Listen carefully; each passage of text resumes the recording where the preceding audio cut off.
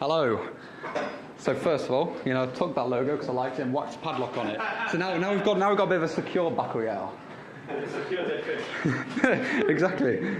So who am I? Jared Henson, security architect at Control Plane, uh, and here, as David said, just to discuss conceptually the security, not not deep down, haven't touched code base. I mean, from some of the presentations today, I can tell it's already changed. So the security, some bits in here may be true as of maybe a week ago. Uh, but yeah. So just to note, um, Web3 can depend heavily on Web 1 security.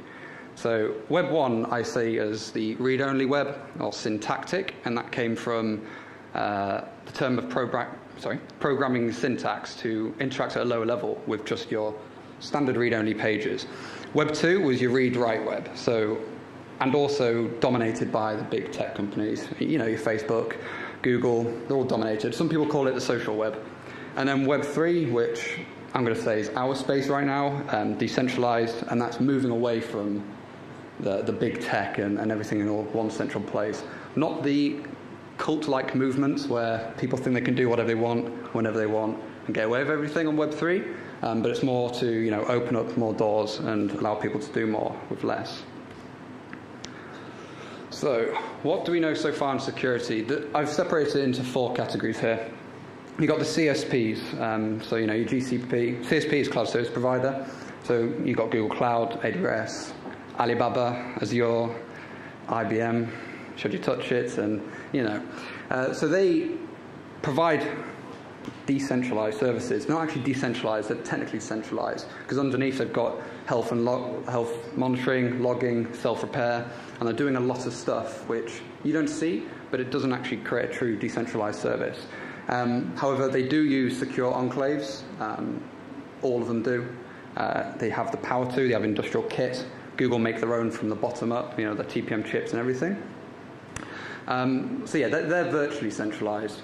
Then you got your web peer-to-peer, uh, sorry, Web 2 peer-to-peer, your Napster, Gnutella, your BitTorrent. Um, so, for example, BitTorrent was an unstructured peer-to-peer, which meant any node could join. There was no structure, but now it's semi, it's hybrid because they've added the decentralized data discovery mechanism. Um, and also, if you've ever torrented legally, um, you would know that there's trackers, and you know you can see and, and find certain seeds as well. Um, competitors I'm going to touch on just one actually, um, Golem. So Golem, I've been in the space a while. Uh, they do compute over data, they do it distributed, they do apps on decentralized and yeah, they've got a big base already. There's a lot of stats. I won't go into too much detail. However, they haven't got a reputation system either. They haven't got any verification system. Um, in fact, it's just one to one. They could ask me for a result, I could give them something, they don't actually know it's true. However, they did have secure enclaves built in using Intel SGX. So the implementation was ready. Um, GitHub is full of some of their repos you can take a look at. But they decided not to spend more resources or money on it, mainly because Intel discontinued SGX for consumer CPUs from the 10th generation. So only your big players of industrial CPUs can, you know, industrial kit can start doing this sort of stuff. And I mention that just because I'll end up touching a bit of secure enclaves, SGX later on. Um, like Golem is only public data. With Bacalhau, we're looking at potentially moving on to private data. Um, and there's a lot of security stuff analysis I did on Golem, and they're susceptible to DDoS on the central network. It, it's exactly, it's not even fully decentralized, and they claim it is. There is a central um, network that acts as a proxy. So you connect to it and it networks you through. Um, so yeah, spam that and, and they're gone. Uh, Bacalhau, so that's why I'm here. at the moment, it's a true unstructured peer-to-peer from what I understood. If it's changed and the architecture's changed, I'm ignoring it. Uh, and that's decentralized, and there's, you know, there's big wishes to move to um, private data as well as public data because it'll open up a lot more customers. And getting it wrong is expensive people ignore security, people get annoyed with security, it slows people down. Um, but if it's incorporated from the beginning, it doesn't actually slow you down because you've secured yourself more than trying to fix stuff. And you know, as you can see, they're, they're huge numbers. Most recent one I on was the Ronin network, $624 million. And you see your total up there, you've got 2.2 billion, or if you're deep in Web3 now and you start to use Ethereum as more of your uh, coin of tracking, the other day ago I added it. But yeah, the past two months, $977 million has, has been taken, all because of really, really silly, silly security mistakes. Um, in fact, Badger DAO on there, 119 million. That was actually a GUI problem, and there's something to note. And, and yeah, just to say first, actually, this should be a discussion I'm hoping for like the hackathon or maybe some unconferences. There's a lot around security we need to discuss. But with Badger, that was essentially a Cloudflare problem. Um, somebody got access to their Cloudflare, adjusted some keys, and essentially did something called ice phishing. Um, and essentially, anyone visiting their website, uh, they were told to connect their wallet, and really they just gave all their permissions to somebody else and siphoned. So that, that's again a supply chain attack, something from Web 2 that Web 3 needs to take hold of. Uh, yes. So examples of some Web3 threats. I won't go through all of them. I just wanted to put some up. Some of them you may not think are relevant to Bacalhau, which is true. Maybe some price oracles. Um, but in the potential future where we look at smart contracts, that's when a whole different attack landscape opens up. Um, griefing, however, and infrastructure are more likely to happen with Bacalhau, especially griefing, actually malicious jobs. You know, your disgruntled nodes. Ransomware, I put ransomware on, it's an interesting one. Ransomware on the blockchain has not actually been seen yet. It's been seen in a way where people have used smart contracts to pay ransomware providers as a service. Um, so if somebody, if somebody manages to get a crypto payment to Decrypt, that smart contract says the owner of the ransomware will get X amount, and it's an easy way to hide. However, could Bacalhau, you know, be abused to use their network for malicious compute? For example, how would you detect that? How, how would we stop that? Can't just switch it off like you would in a uh, normal situation. Um, yeah. Was, what do you mean by malicious compute, compute? Is that like so in this, attacking others? Well, in this sense, when I was talking about the ransomware, I meant using the power of the Bacalhau network. So using other nodes to do malicious activity, yeah. whether that's C2, you know, command and control. Uh, you could do data exfiltration, you're processing. You could wrap it around Bacalhau so many times in a similar way that you can wrap stolen Ethereum through Tornado and lose its wallet. Modern tech stack, you're compromised no matter what. Um, so I'm going to go very high level and light. Um, there, there's a deeper report. This is more of a high level presentation on it. Um, so, cryptography and confidential computing. I'll just explain zero knowledge proof in a very highest level. You know, say that I've got a green ball and a red ball, but I'm colorblind and I, I can't tell the difference. Uh, and I'll be asking, let's say, Luke in front of me to tell me, as I have my hands behind my back, which one, you know, is it the same or is it different? I still won't know the color, whereas Luke will be able to see the color, assuming he's not colorblind as well. Otherwise, we'll be in a loop. um, and then I, I, will some, I'll somewhat know that it's different, they're not the same, but I won't know exactly why. And that's a very high level of zero knowledge proof. Um, so I'm the zero knowledge, and Luke would be the prover. So, compute over private data, well, homomorphic, functional, and what I've named authorized decryption, which is something to look into again, hackathon. I want to discuss it. So homomorphic, what we could use it for, you know, your really sensitive health records. Um,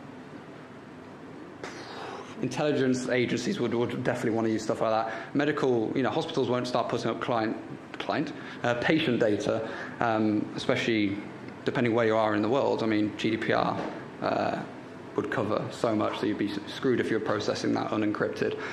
Um, you got functional, so that's it's okay to know the answer, just not how it's operated, what, what the actual data was, and, and, the algorithms running on it. And then authorized of name, which is semi-private, hide from casual viewers, and it's okay to compute um, to see. So homomorphic encryption for Bacalhau, examples of jobs being run, uh, examples of uh, jobs being run with homomorphic encryption um, could be put on the GitHub repo, but I believe it should be left to the user personally to take control of homomorphic encryption. We should be able to provide the functionality. We should be able to provide some example jobs, um, some examples of how to's and guides. But ultimately, that should be up to the, the user. We shouldn't take on that security risk, nor all the logic. Um, functional encryption for Bacalhau. So that's a private key let me explain function a bit more. Um, it's used in spam filters for email. So essentially, it's a private key that has a function built in within it. Um, so let's say everyone's salaries in here is in one spreadsheet, um, and I wanted to access my salary information. None of you want me to see all of yours. So I could be provide a pri- private key based off the master key that has a function to decrypt only Jared Henderson and all my details. I still won't be able to see anyone else's. So that's how, for example, Gmail will check for spam. It doesn't see the content, it just provides a function and gets a Boolean result on top of whether it's spam or not. Um, and authorized decryption. So this is semi academic, but I think potentially possible after being introduced uh, recently to uh, LIT protocol. I think that came through David actually. Um, and they're essentially a decentralized key management system, and it's based on ANDOR rules. For example, if name is Jared and has wallet address 123 and I don't know, doesn't own an NFT, for example, I could then get a key. Um, and the way I thought this could be used is we could have encrypted data from all customers on Bacalhau and use something like a decentralized key management system to provide the key to the compute node. So the compute node will request the key. It could check, um, Bacalhau could have a, a, module to check if the compute node has won that job. It's got the correct user, and then it has access to this data. It can pull it down and um, decrypt it, do the work, but it could also reverse and do the encryption, put the encryption key back into decentralized key management system, and then the user will be able to decrypt their result with that key, essentially hiding it end to end. That would definitely require a bit of a, a discussion hackathon. It sounds simple, but it's not. Um, that's essentially what I meant by authorized decryption. And we've got secure multi party computation. Again, another simple way to explain this is there's three people with their salaries. You've got Alice, Bob, and Carol. Um, what Alice will do, she'll give keep 50 to herself. She'll give Bob 30, Carol 20. Same pattern for Bob. Bob will keep Bob will give Alice minus 80, 100 to himself, and Carol will get 180. And that will all add up to their uh, total salary. And then at the end, it's all added together, and it will, and that total amount is divided by the amount of uh, users, and then you'll get the average. So unless Bob and Carol work together, you know, they can work it out. But on a bigger scale, it'll be much harder to deduce these values. It's quite a simple, simple way of, of getting a result. And it's, you may have heard this in the millionaires problem. Six millionaires, they want to know who has the most money without um, saying how much. And it's the same thing. Give all their money, and the answer will be, I don't know, Bob. Trust the execution environment, important piece for I reckon, Bacalhau's future, um, both for the requester and the compute node. So in this case, the host is compute node, the guest is the requester. Um, why? Because you're running other unknown compute on other people's infrastructure.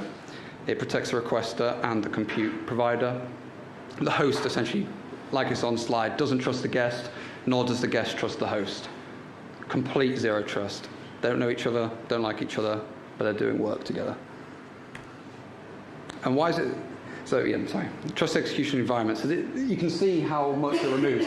Each extra layer on the left-hand side, which is traditional, adds extra room for security vulnerabilities. Whereas in your trusted execution environment, you essentially got the three: CPU, that middleware to interact, and then the application itself. Um, so you can do attestation and cryptographic proof that a trusted execution environment is run. Uh, you can also check current state of memory and registers to make sure it's zeroed out, so there's no there's no tampering done. And keys are baked into the hardware at manufacturing time by the vendors, um, and the public key, is public key is stored in the vendor's uh, database. And what you could do is then use that to check if a compute node is running a trusted execution environment, check it's not tampered with, and run the job. Now, conceptually, you could have two types of compute nodes. You could have one that runs on, you know, for the Firecracker Ignite, the Docker, or you could have people that also register themselves as a, a TEE compute node, and, and they can provide this sort of execution.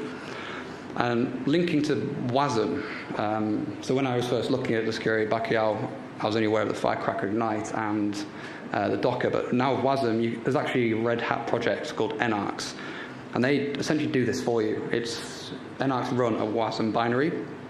Um, it does all the checks locally, checks the keys. If, it, if there's something wrong with the enclave, it won't run. Just, it just won't touch it. Um, there's probably possibility to use an Enarx API to remotely uh, to remotely call and, and, run. However, that does open up network communications, and you, know, you start to get into the centralized area of decentralized, where people create decentralized apps and tools, but then suddenly they get centralized by adding one, one feature because it's a, a, fail. There's also a tool called Keylime.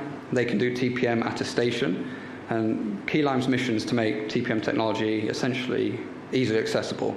Um, and it was invented for use on remote machines um, and devices on the edge. And there's three parts to it. There's a verifier, a registrar, and an agent. The verifier verifies the integrity state of the machine. The registrar is a database of all the um, hosts and the TPM vendor keys. We could do that in a decentralized way. It depends. You could use a blockchain for that. It's essentially one big database if you think of it in a very high level. And then the agent, which is deployed to all these remote machines and you know checks that it's constantly secure, there's no leakage, um, and then it will only release secret keys when it's done its pass.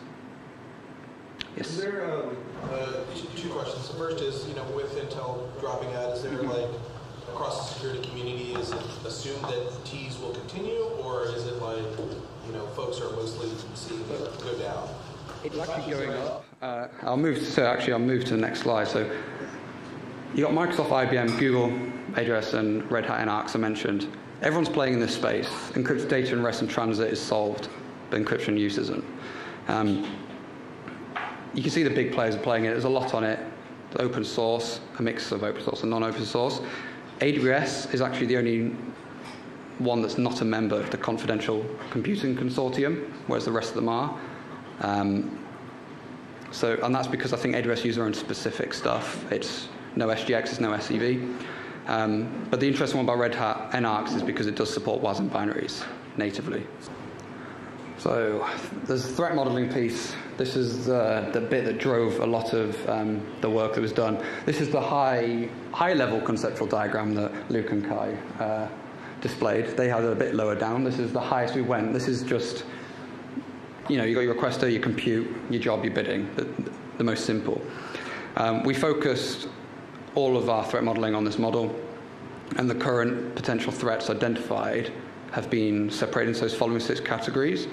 Uh, to iterate, we didn't come uh, cover the code base, it wasn't in scope.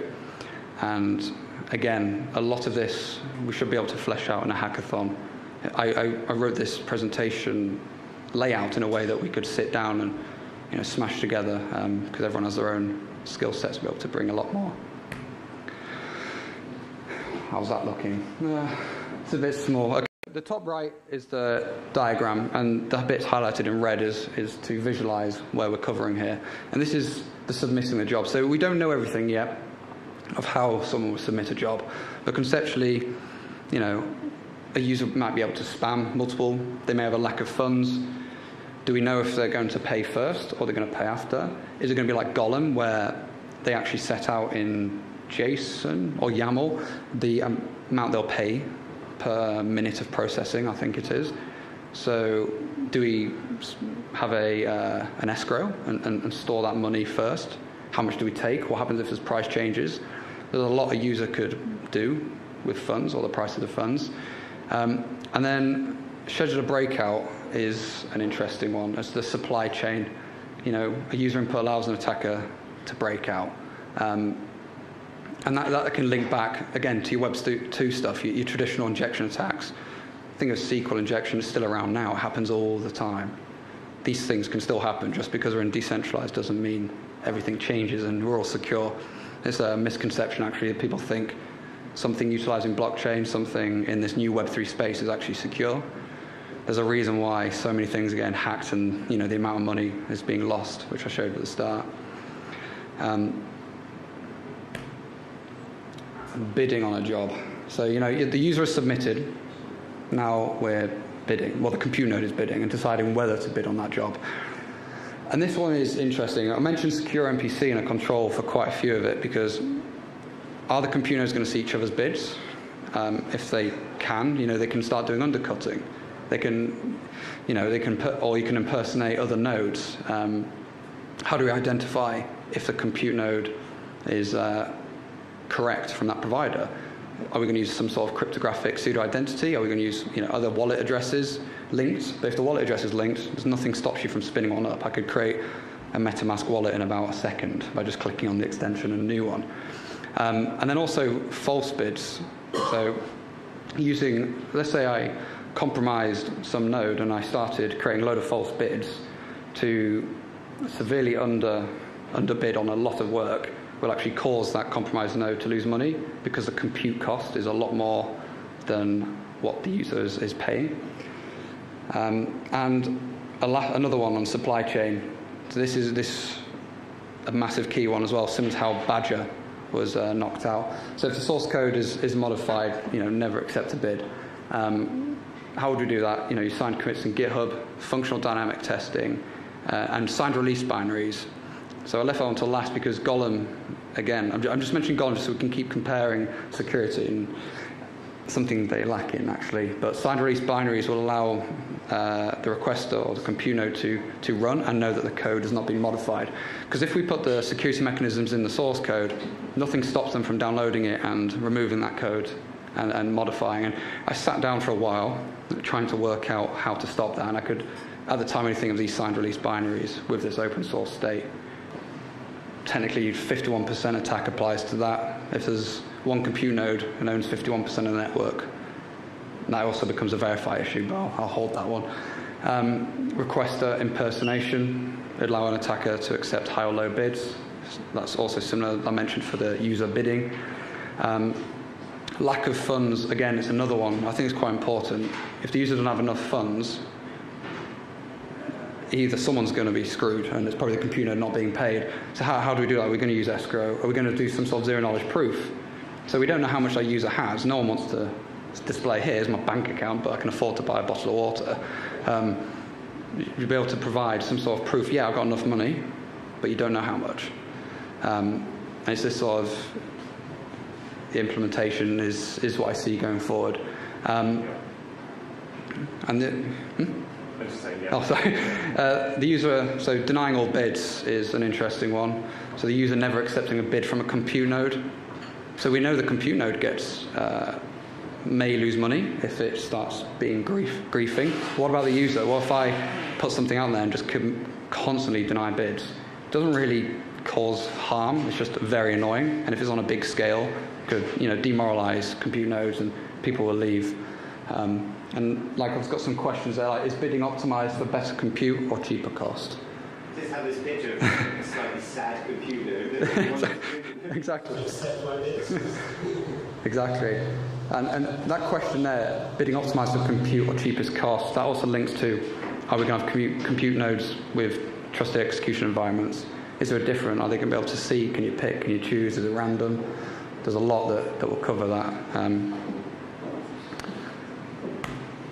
executing the job. So yes, one because this is the second slide. It's quite it's the it's one where everything goes wrong. Um, there's one not on there, and that's for example, let's say I've instructed a compute node to do some work on a large data set, um, but that data set is updated, but not very much. And I use the same compute node because they're trusted. Uh, I just like using them and they do a good price. Um, what stops the compute node spoofing the previous evidence of work? Because you could say this, the computer has done the work, but he's just using the previous evidence of work uh, for the future ones. So you, that starts to ruin that verification um, method. It's something I thought of um, and discussed with a colleague doing this work, and it's really, yeah, it's really good. In fact, I didn't think of it, he thought of it. I won't take his thunder there. um, false answers compute node providing false answers. The verification system we've gone over quite a few times today, reputation system, um, deterministic jobs with a large quorum of nodes, but that's expensive. Who's going to pay for it? Um, retaining job data. So that's a private data issue. Obviously, with public data at the moment, it's not too big of a security risk for us. Um, however, with private data, that is a risk. And again, to mention Golem, they actually retain data for 30 days on each compute node uh, in the case that they're going to do another job on that data, um, and then it's automatically cleaned. Obviously, that's something we will not do and can't do. They only do it just so they save um, the uh, better efficiency on detaching and attaching images. Um, any other big ones on there? Sensitive algorithms, yeah, so it's not just the data. What if I'm sending a sensitive algorithm that's proprietary uh, to run on Bacalhau? What stops compute node from seeing that algorithm and, and stealing that? Code. Exactly, yeah. And that's, again, homomorphic encryption, nah, you know, probably 10 years away from really fast, efficient use. You can do it. Uh, it's not like you can just do it really quickly. It'll take ages for big data sets. So again, trusted execution environments, being able to put that data into somewhere that is separate. Compute node should not have access and read or write, and we should also check that it's zeroed out memory and registries uh, beforehand. Slide two of execute jobs. Um, so sensitive data again. Uh, that's the PCI DSS, GDPR, the stuff that I was mentioning. You know, you mentioned legal content. What what what are we doing on that? Are we going to put it into terms and conditions? Go policy wise. You know, terms of use similar to AWS. That even have terms of use covering zombie apocalypse. I don't know if you've seen that. It's actually in there. Um, content inspection. Uh, I know, David, you said it's separate and already covered. I'm assuming it might come under that itself. Um, going malicious jobs again, malicious network usage. Uh, we could also use in executing jobs zero knowledge proof to prove that you've actually computed the job without sharing the results that others would copy. Um, and that covers the copying answers. I know you already mentioned it, Kai and Luke, in your presentation with the, you know, encrypting it. Um, depending on speed or, or, options, obviously you can use that built in, um, or zero knowledge proof. Or the question put, we put forward was, are the results only published once paid? And that saves that encryption piece, for example, or wherever it's stored. Until it's paid, then the results are shown, and then it removes that uh, copying. That actually reminds me, that's similar to the ransomware one I mentioned of, you know, using it for malicious network, but I could also, let's say I have a huge zombie network from a remote administration tool, a RAT. I've got a load of hosts from people I've infected since 10 years ago. Stay quiet. What happens if I suddenly install a Bacalhau compute node on every single one of them? Is that an immediate 51% attack? Is that also who's liable? Uh, there's a lot of a lot of things to cover on that one. And that's where you can do that attestation uh, on the trust execute environments uh, with the keys built into the hardware and the proof of ownership using zero knowledge proof. Again, that pseudo anonymity. You don't know who I am, but you know it's mine and it's, it's legitimate. Verifying results. Again, another one, zero knowledge proof. It keeps coming up uh, without giving away the answer. So, for example, if I was doing the red and green ball behind my back, which is a red ball? So never give the answer, it's zero knowledge um, proof. If that's contested, then we know there's a false answer or, a wrong answer. Um, lack of funds is, a, is a, repeated again. The user doesn't have enough funds for the jobs at the time of payment. Um, how's that linked in with the verification? Is there, is there payment there? What if they, ne- what if they never verify? If it costs to verify, why would they? Um, What if they just use get the results and you know never reply back? Um, it's probably better to pay per processing, and if that payment isn't being paid, uh, just stop. At least the compute node doesn't lose out. The only person who loses out there is the user. Um, yeah. Uh, oh, an annoying griefing one was withholding verification. Just outright not verifying in order to prevent payment to the compute node. So they've done the job and they've got the answer, but they're not paying the compute node because the compute node relies on that reputation or verification. And payment. So payment's a hard one to cover, uh, primarily because we're not touching the code base. There's no smart contracts involved yet. Um, but the two standard ones, you could you could bear or bull Bacalhau. So I could, if I had enough power or enough funds, or I had access to some sort of whale client. Um, let's say Elon Musk was my friend.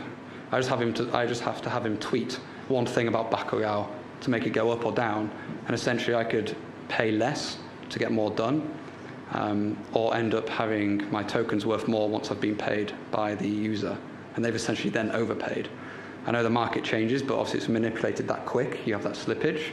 It's similar to how price oracle attacks happen.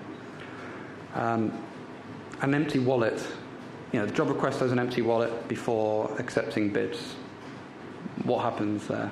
Because then, if they provide false answers, they usually have a cost. You know, they won't just lose reputation; they'll also get fined. Essentially, if it's empty, how are you going to find them? Do we have to do a payment escrow from the other side? Uh, again, how do you know people can afford jobs they're requesting? Same things keep coming up. So, in summary, covering those high level uh, from zero knowledge proof, homomorphic encryption, functional encryption, secure multi party computation, and trusted execution environments. So, the protocol that's the interface and the interaction, smart contracts, all that lovely stuff. With zero knowledge proof, yeah, it's applicable. The request uh, proving they have enough money and how much. With secure multi-party computation, that can include your, your blind bids. compute nodes that, you know, they, a computer could be saying how much computer provided in X window at X price. Um, for example, if that feature is allowed, if, if people can walk away and accept bids based on some sort of criteria, SMPC will A, provide privacy on the bids, but also allow that extra feature of automating accepting uh, uh, bids. Um, it could also, you know, cover sensitive information um, and allow the, the Bacalhau system to automate it. And that's really important for protocols in Web3 because it allows you to step back. We should be able to leave the back of our network and it doesn't fall down. Obviously, not leave the company and disappear, but we should be able to step back. The implementation, so that's the, the Golang code. Um, not much done really, as I already mentioned. The user can remove it. As Kai said, you should be able to just join, so you can't really just willy nilly sign up with a, a signed binary. Um, you can maybe use zero knowledge proof to prove that it's the Bacalhau code base you're running uh, as a compute node. Um, and definitely yes to trusted execution environments, so protecting the compute node from unknown jobs running on the infrastructure. And consumer jobs, this one is important and applicable to private data.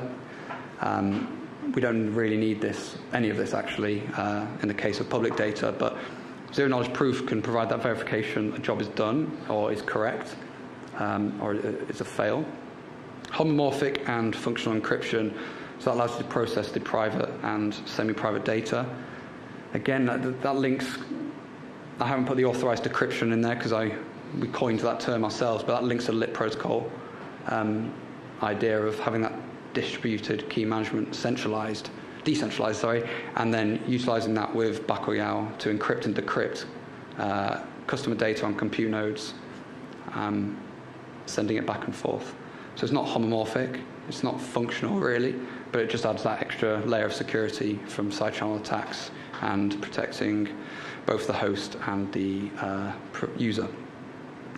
And then trusted execution environments, it can somewhat protect uh, data and algorithms from the host and the compute node, um, and that is the job. So, you know, all private code, like, like Kai mentioned, it allows us to, to run these sort of jobs, but provide some sort of security to the user.